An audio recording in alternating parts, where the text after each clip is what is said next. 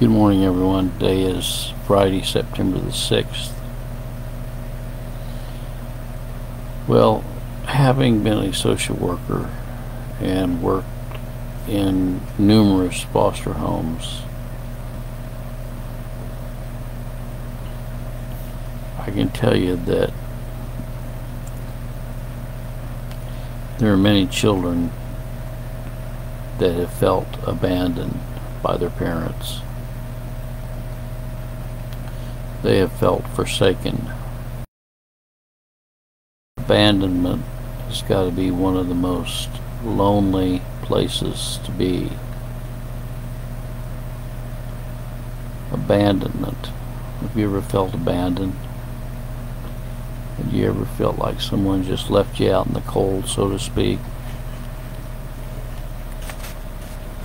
The word abandonment is the act of leaving someone completely. The act of getting rid of someone.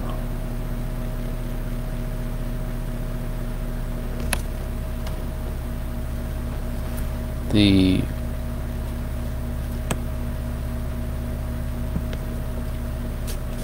there's a permanent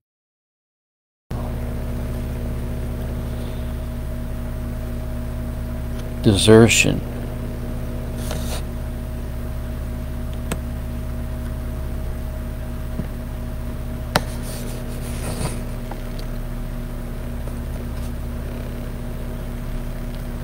The act of giving up on someone or refusing to associate with someone.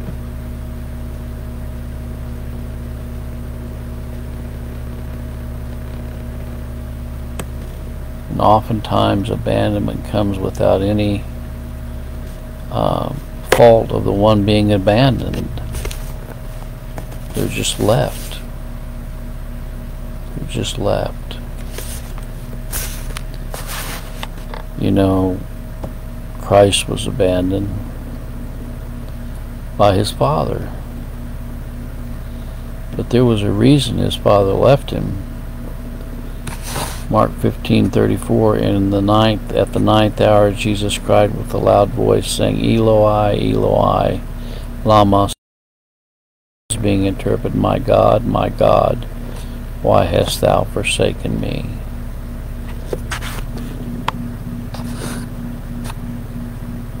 The Father could not look upon sin. Jesus Christ became our sin bearer he bore our sins, and his Father could not look upon sin. And so Christ went to the cruel and rugged cross, and his Father forsook him. Oftentimes we've been forsaken in our lives by friends, our loved ones, relatives, and maybe sometimes it was because of something we've done or something that brought about irreconcilable differences, but there's great solace in knowing that Christ will never abandon his people. He said, I will never leave you or forsake you.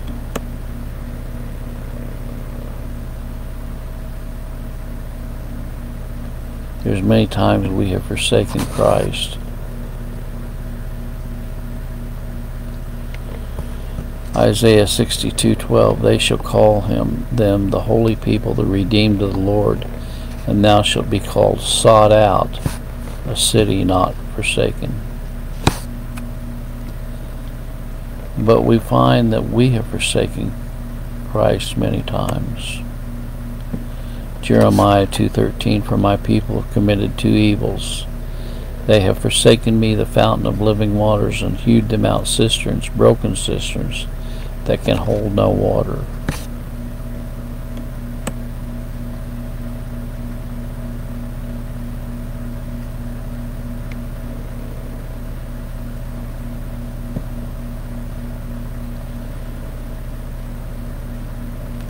Jeremiah 2.12 Hast thou not procured this unto thyself, and that thou hast forsaken the Lord thy God when he led thee by the way? James tells us that we sin when we are drawn away of our own lust and enticed. You know. 2 Peter 2.15 Which have forsaken the right way and are gone astray, following the way of Balaam, the son of Bosor, who loved the wages of unrighteousness. Jeremiah 22:9 Then they shall answer, because they have forsaken the covenant of the Lord their God, and worshipped other gods and served them.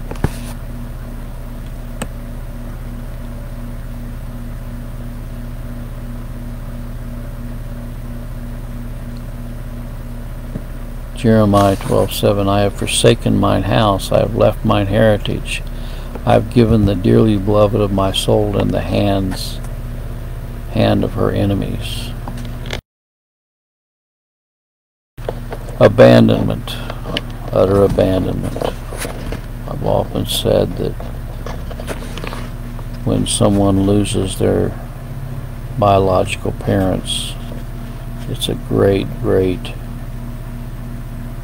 feeling of abandonment, of loneliness, and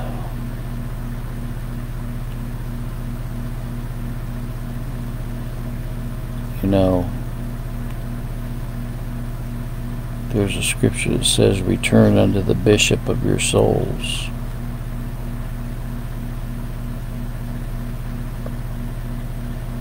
Isaiah 1 4 and a, a simple nation, a people laden with iniquity, a seed of evildoers, children that are corrupters. They have forsaken the Lord, they have provoked the Holy One of Israel unto anger, they are gone away backward.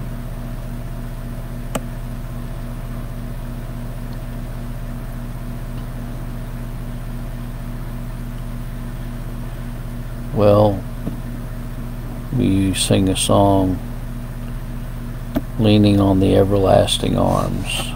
What a fellowship, what a joy divine, leaning on the everlasting arms.